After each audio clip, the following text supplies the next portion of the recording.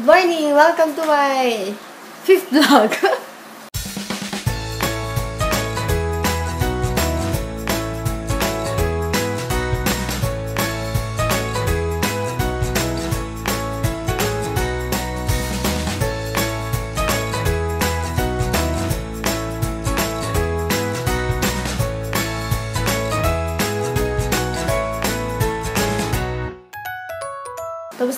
mag-lunch. Pupunta lang ako sa salon. Magpapagilis lang ako ng kuko kasi may gig kami mamaya. Mag-maga pa yung mata ko. Ha, ba't pinatay yung ilaw? Ayan, maga pa yung mata ko kasi kagigising ko lang. And yun. So, see you. Hi! Ayan, nakauwi na kami. And nakapagpalinis na rin ako ng kuko. Naligo na ako kanina bago ako nagpalinis ng kuko. So, yun yung kulay ng pili ko. Dark brown. Brown. Yan. Brown. So, ngayon mag-makeup na ako. Una, linisin natin yung mukha natin with skin ulit yung ginagamit ko. Isa lang ako nagbe-makeup pag lang may tugtog. Pero pagka regular na araw, hindi naman ako nag-makeup. So, dahil may tugtog tayo ngayon, mag-makeup tayo.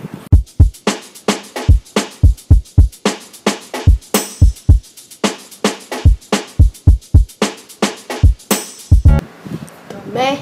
Ayan, then patuloy muna natin. Yan, medyo yun na siya. Hindi ako naglalagay ng primer. Dati ang primer ko ito. Kung sa, sa Royal to eh. Skin white. Pero dahil nagkaroon ako ng pantal-pantal sa kanya, in-stop ko na siyang gamitin. So, hindi na ako nagpo-primer. Ang gamit ko, foundation. Hindi ko alam kung foundation to, pero ito yung ginagamit ko. Dermacol. Ayan, gift lang to sa akin. Eh. Binigay sa akin. Wife, nakakilala ng husband ko. Na-apply ko lang siyang parang concealer.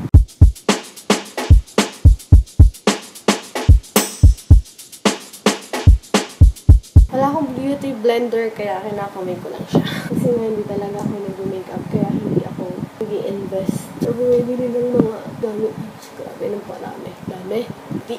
Hindi ako nag invest ng maraming makeup. Hindi naman ako talaga nag-makeup. Nag-makeup lang ako kapag uh, may gig. So, pare-parehas lang ng pattern ng makeup ko.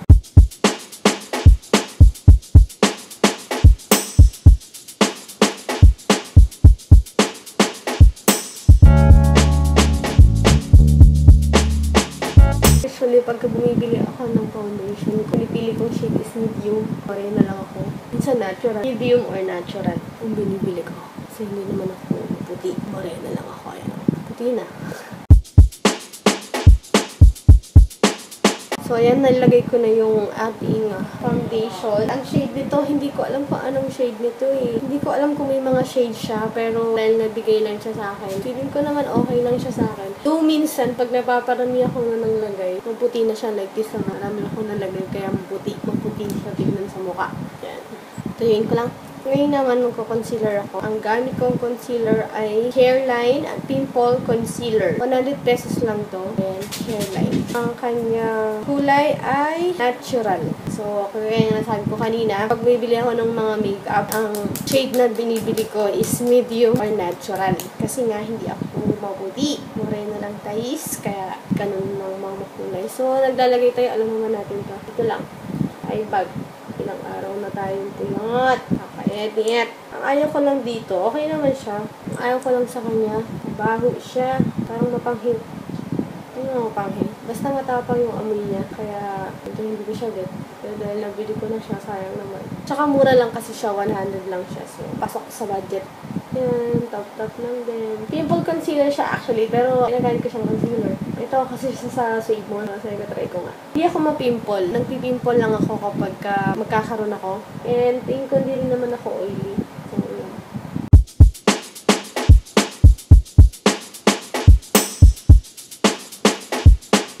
Patingin lang natin siya. Ayan siya. Delata, no? Kasi naka-iPad ako eh. Ayan ngayon, ang ginagawa kong pang set or ang tawag dun, hindi ko alam eh, pang bake. Ginagamit ko ay pulbo. Ayan, Johnson's. Para sa mga nagtitipid like me, ito ang ginagamit ko. Pulbo din naman siya. Eh, nakakatulong din naman siya mag-bake.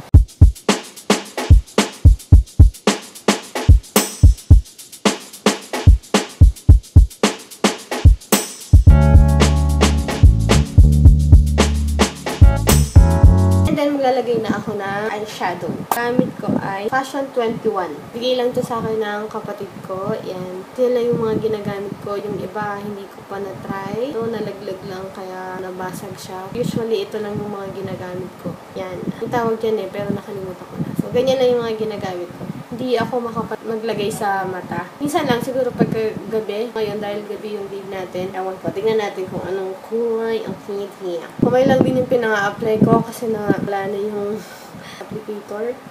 So, kamay lang. Kamay lang natin best. Hindi rin ako pro pagdating sa pag-makeup. Nilalagay ko lang kung ano yung, ano ba, Mag-makeup lang ako. Kung ano lang yung, alam kong ilagay, yun lang nilalagay ko. Hindi ako pro sa pag-makeup. Apply ko lang siya. Wait.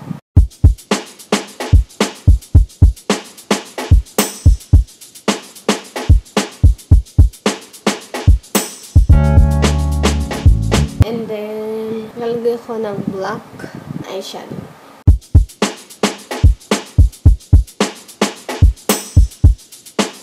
Para black eye lang.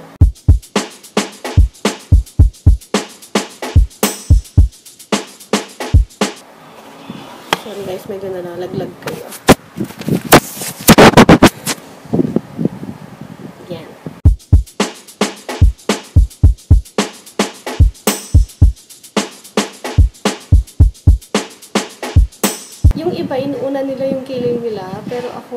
Ko yung eyeshadow. Hindi ko rin sure, pero ako inuuna ko yung eyeshadow bago yung kilay ko. And, ayan, hindi ako nagpa-pluck ng kilay. Nagpa-add lang ako ng kilay nung may event, pero hindi ako nagtatanggal ng kilay. So, yan. Sana nakikita, no? Pero sige, mamaya sa labas, papakita ko sa inyo. Madalian lang to guys kasi baka malate kami. Ayan. Pakita ko na lang mamaya sa labas para mas malinaw. And ang aking next is eyeliner. Dahil nga late lang yung aking mata, kailangan natin siyang palakihin. Malaking mata ko pero nalaglag kayo. Makin pa natin. So, ang gamit ko is, ito nabili ko lang to online. Wala na siyang tatak. Matagal na sa akin to eh. Yung parang, ang tawag ko dito, gel eyeliner.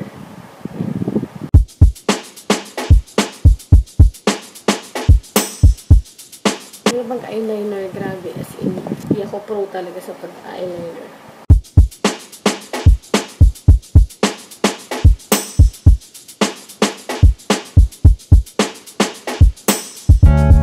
Naglalagay din ako doon sama eyeliner.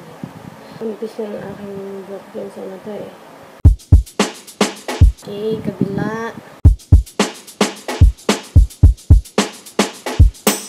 Hmm, hindi na siya pantay. See?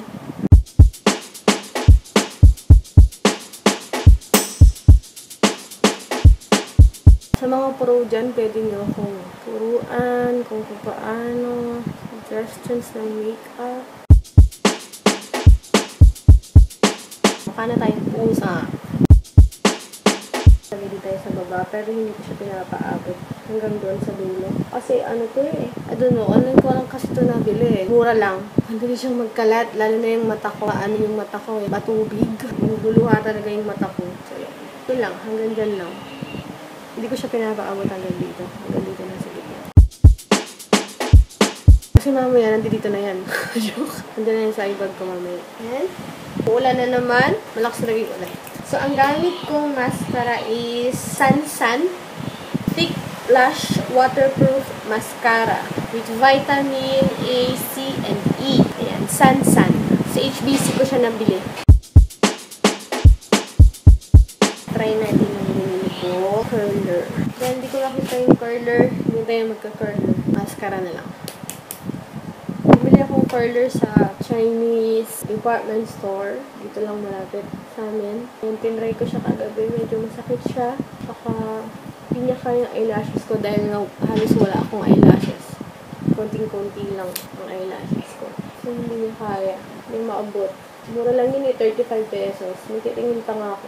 Try ko tumingin sa Daiso pagka pupunta kami. Halata? Hindi. Kunti lang ang pinikmata natin, besh. Ito yung pinagpala.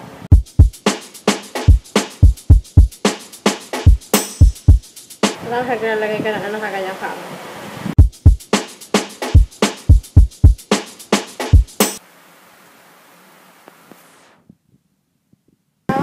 Maglagay tayo ng sa ilong para tumangos kahit konti. Maliit lang ang ating ilong. Ayun lang siya. Oh. Ayan. So, maglagay tayo.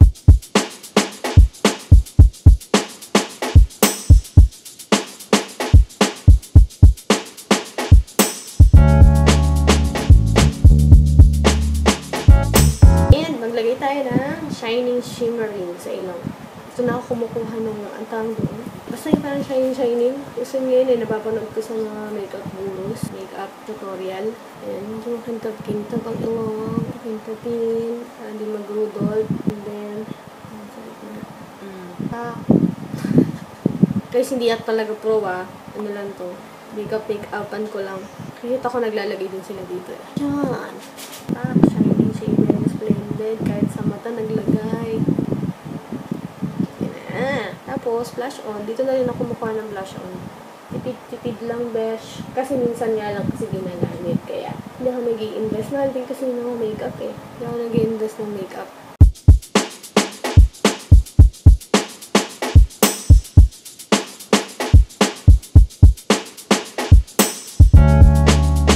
Magkikilay na ako. Gagawin ko to sa labas, dun sa mas malaking salamin. Kasi, mas kitang-kita ko siya kaysa dito sa maliit. Sige na nga, dito ko na lang gagawin. Dito na lang. Balikan lang ako. Yan, nagkilay na tayo. And ang gamit kong pangkilay ay... Ano ba to? Nabura na siya eh. Ganito siya, oh. Yan, paubos na rin siya. Bigay din to ng sister ko sa akin. So, again, yung ate ko kasi ma-makeup siya. Yan siya sa makeup. Yan. Okay. I-conceal natin siya ng konti. Six and a half hours later. Paalis na kami, papunta na kami sa gig. Suot ko ay long sleeve from Ukay-Ukay, leggings from Palengke, kwintas from Palengke, pagkos Micaela, regalo sa akin to ng, ng kaibigan ko, nung birthday ko. Shoes from Ukay-Ukay, 2 for 150. Ayan, sige, tara! Paalis na kami, guys. Punta na kami sa meeting place namin nila Kuya Tom, yung gitarista namin. Ayan na yung makeup ko. Mamaya ko na ilulugay yung buhok ko. Pagka ano, ipit muna siya. Hi ka naman, Han. Busy siya kasi nagbablog din siya eh. Ayan, so palis na kami. Dito kami dadaan sa ibang daan dahil baha doon sa kabila. Try kong mag-vlog mamaya doon kung hindi ako mahihiya. Try kong mag-vlog sa, sa ano, sa gig namin kung hindi ako mahihiya. Kakulan natin ang fest natin, best! Nakikita ba yung makeup ko? Ayan, simple lang yung makeup. Hindi ako mabongga mag-makeup. Wala akong false eyelashes. Medyo malapit tayo sa meeting place. Naghihintay na doon si Kuya Tom. Tom. Kuya Tom. Sana wag masyadong malakas yung ulan. Dahil pag malakas ang ulan, doon tayo sa loob ng cafe. Kita na lang tayo doon. Try kong mag-vlog. Pag nandyan si Kuya Tom, try lang.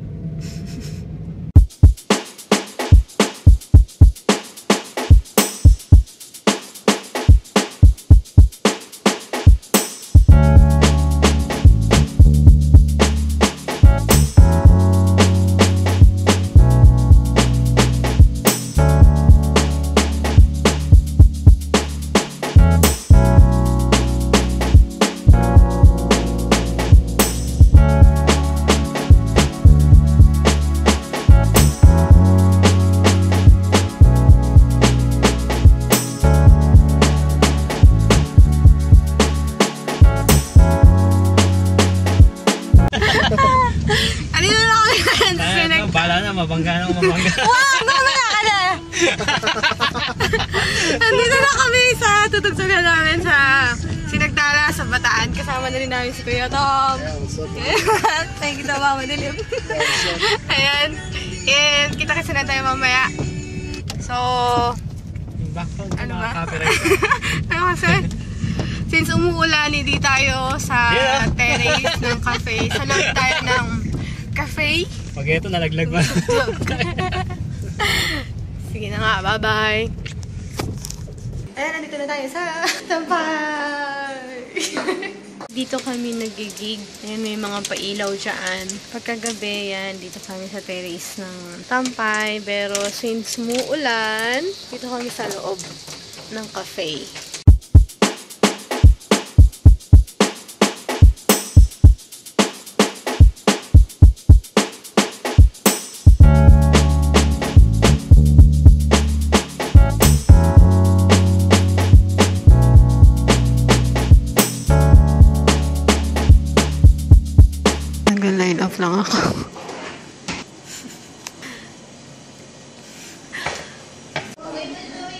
Nag-start na kami. So, mamaya na lang.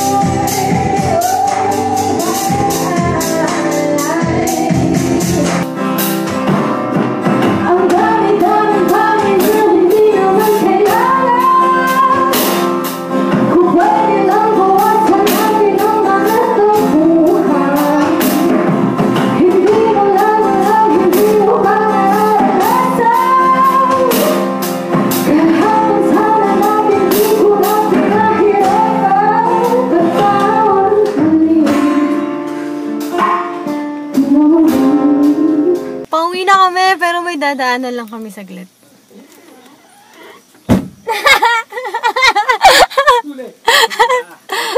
Pauwi na. Bye-bye. Hi guys! Nakauwi na kami. It's now 3.54 a.m. Kakauwi lang namin. After ng gig kasi may dinaanan pa kami. Kaya yan, yun lang kami nakauwi. So, mag-iilamos lang ako and then matutulog na. Salamat guys sa pagsama sa akin today. God bless you!